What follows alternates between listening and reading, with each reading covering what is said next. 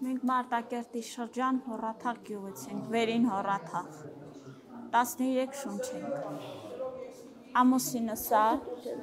իր եղբայրը, կինը իր, եղբոր կինը։ Ես, կիսուրս, իմ մաման ու 7 երեխաները։ Դե 19-ին առավոտը սովորական։ Մեր առօրյա կյանքով կեսօրին լսեցինք, որ կրակոցների ձայները գաց ասենք դե մենք արդեն սովորել ենք, որ հեսա կկրակեն, հեսա մի երկու րոպե հետո կլռեն նորից, մի քանի օր հետո նորից կկրակեն, ասենք երևի հեսա կդաթարի։ Երեկոյան տեսանք, որ չէ, ավելի ահավոր, մեր գյուղահագին զոհեր են տվել, 4-5 զոհ են տվել մենակ մի փոքրի գյուղից։ Ահագին վիրավորներ, ամուսնուս եղբայրը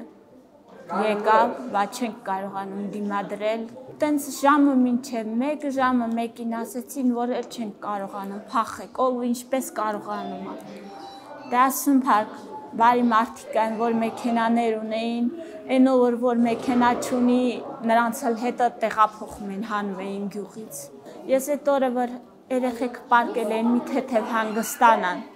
Ես այդ օրը որ հերցնում ասեմ, գնում ենք դուրս են գալիս գյուղից, արագացրեք դուրս են գալիս, ես մեզ տղես են ցանում մամա թուրքերը գալու են մեզ մորթեն դրա համար եք, չէ, մեզ փախցում։ Ես վախում եմ։ Վախում եմ թուրքերը գալու են մեզ սպանեն։ Գիշերվա ժամը 1-ին երեխաներին հասցրել ենք գյուղից հարենք։ Մի ուրիշ գյուղ։ Լսեցինք, որ մենք որ ճանապարհը որ պետք է հասնենք аэроպորտ Ստեփանակերտ, Ասկերան։ Այդ ճանապարհը փակվել է Վանքի Խաչմերուկը։ Դե այդ մի քանի ժամը մենք սարսափի մեջ ենք անցկացրել, որ ամեն րոպե կարողա կոտորվենք։ Մի քանի ժամ անց ասեցինք, որ մեր զինվորներին հաջողվել է իրանց ետ մղել վանքի խաչմերուկը բացել, որ մենք հասնենք аэроպորտ։ Հասել ենք аэроպորտ ռուսների մոտ։ 3 օր, 4 օր, 5 օր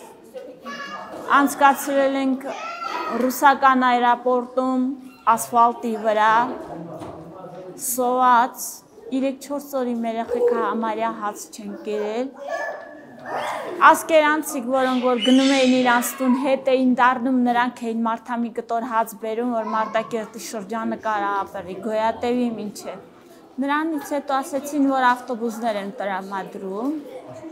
ռուսների ուղեկցությամբ դուրս են գալիս։ Ռուսները մեկ էլ մի թուրքի մեքենա ուղեկցեցին մեզ 5 ավտոբուսներով ամենա սկզբից հենց մենք ենք դուրս եկել 9 ամիս առանց ուտելիքի, այսինքն առանց ձետ, առանց աղ, սև հաց, մեր ցորենի, տեղական ցորենի ալուրն էր, սև հաց առանց քաղցրեղենի երեխաները ընդհանրապես մոռացել էին քաղցրի համը ինչ է? Վախի սարսափի մեջ որ ամեն րոպե կարող էր պատերազմը կրկնվել ու այդպես էլ եղավ էլի այսինքն մենք սպասում էինք որ լինելու է պատերազմ մամա հույս էինք տալիս ինձ մեզ որ գուցե արևմուտքը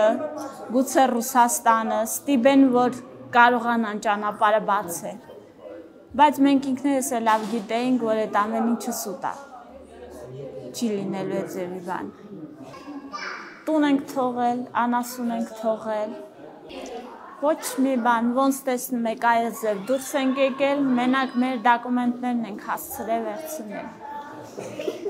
Դաժե մի երեխաս Երևանյան հիվանդա ստեից կողքիցին Երևանից ստանալուց եղել։ Այդ դեղորայքն էլ անգամ չեմ հասցրել վերցնել։ Որովհետև գրադը որ խփում էր տունը թափահարվում էր այսպես։ Մեզ ամենասկզբից որ եկանք այստեղ ասեցին մենք Գորիս հյուրանոցներում բանում տեղավորում ենք ովքեր եթե բարեկամներ ունեն Երևան, գնում են Երևան, բայց այնտեղ ոչ մի օգնություն չի տրամադրվում։ Եթե լիներ բարեկամություն ինձ կգնայի, բայց չունեմ ես բարեկամություն Երևան։ Դրա համար եկել եմ այստեղ, ասեցին ժամանակավոր կմնաք այս հյուրանոցում, մինչև ձեզ տեղավորենք։